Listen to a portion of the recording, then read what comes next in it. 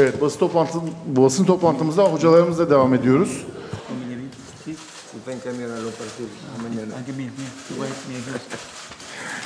Emre hocamızın maçla finalle ilgili görüşlerini alıyoruz.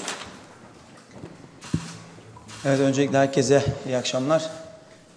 Ee, çok önemli final öncesinde bugün e, Ankara'da gelen meydana gelen patlamadan dolayı öncelikle hayatını kaybeden 5 tane vatandaşımıza Allah'tan rahmet, e, ailelerine de başsağlığı diyerek sözlerime başlamak istiyorum. Bizim için çok önemli. Avrupa Kupalarına katılmak kulübümüzün genlerinde mevcut.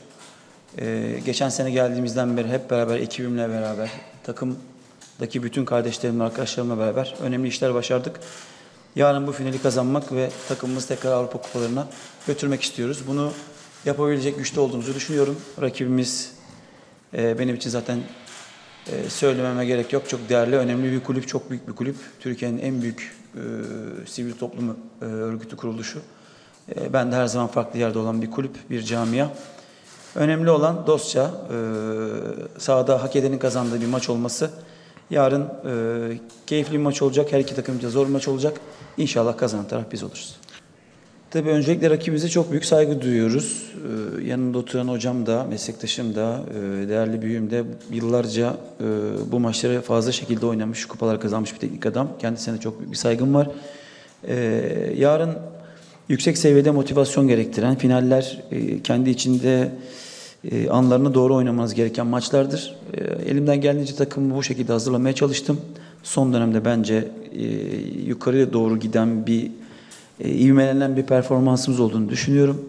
E, rakibin çok güçlü yönleri var. Her takımın olduğu gibi eksik yönleri var. Elimden geldiğince takımımı da bu şekilde hazırlamaya çalıştım ama e, sözlerime başlarken söylediğim gibi iki, iki takım için de kolay maç olmayacak. E, yani Fenerbahçe'nin çok iyi kadrosu var. Çok değerli oyuncuları var. Biraz önce söyledim biz de son dönemde gerçekten iyi işler yapıyoruz.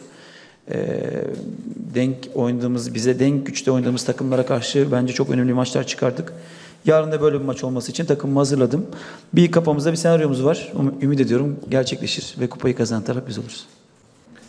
Tabii ki ben takımımızın, kulübümüzün bir geni, e, geninde olan, genetiğinde olan e, Avrupa Kupalarına katılma alışkanlığımız olduğunu söylemiştim. Burada e, şu an biz ligi 5. bitirdiğimiz için sadece bu yoldan geçiyor. O yüzden e, oyuncuları bu motive ediyor. Ama final e, karşınızda da önemli büyük bir takım var. E, bu finalleri çok oynamış bir takım var. Ben de e, takım kaptanı olduğum süreçte e, bu kupayı Fenerbahçe beraber iki kere kaldırdım.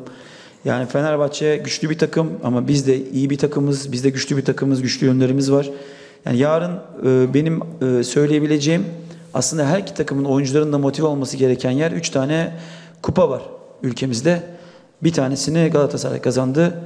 İki tane daha kupa Ağustos'a kadar hala boşta duruyor. Bu iki kupayı kazanabilecek, e, performans ortaya koyabilecek iki tane takım var. Bu birisi Fenerbahçe, birisi biz.